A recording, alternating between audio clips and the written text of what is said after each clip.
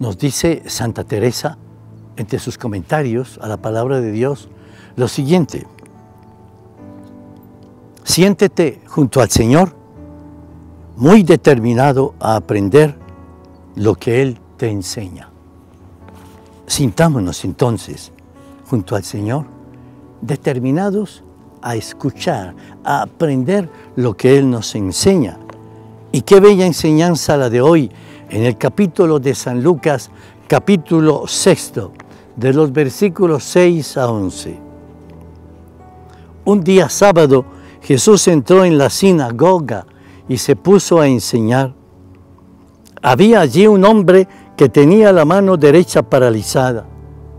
Los escribas y los fariseos estaban acechando a Jesús para ver si curaba en día sábado y tener así de qué acusarlo.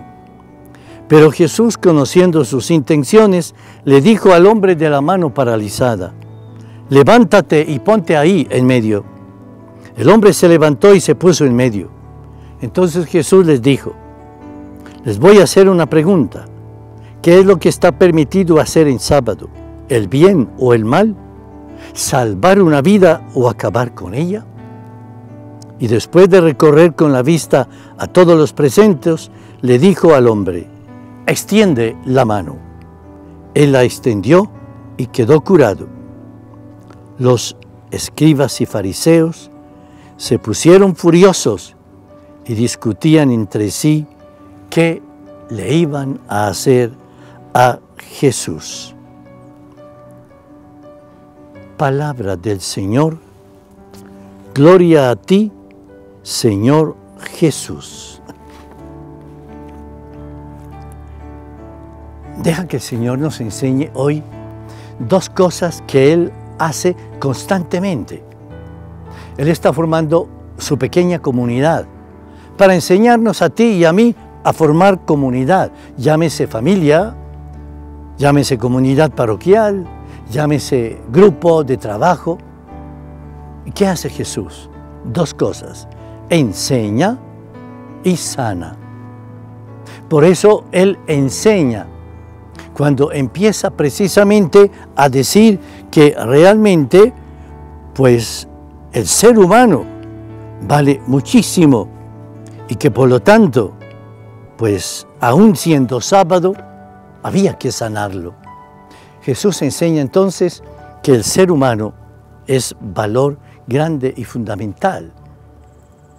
Y en segundo lugar, además de enseñar, Jesús sana. Por eso le dice a él, extiende tu mano.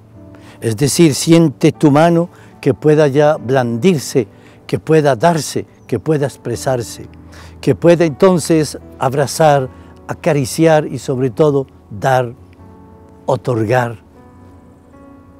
Que el Señor entonces hoy nos enseñe a cuidar siempre a los hermanos, a curar siempre a los que nos rodean y nos enseñe también a estar en la comunidad. Jesús curaba y enseñaba, enseñaba y sanaba. Señor, te suplico que nos sigas enseñando con tu maravillosa palabra y que nos sigas sanando para que hagamos el bien cada día, todo ello con tu inmenso poder de amor.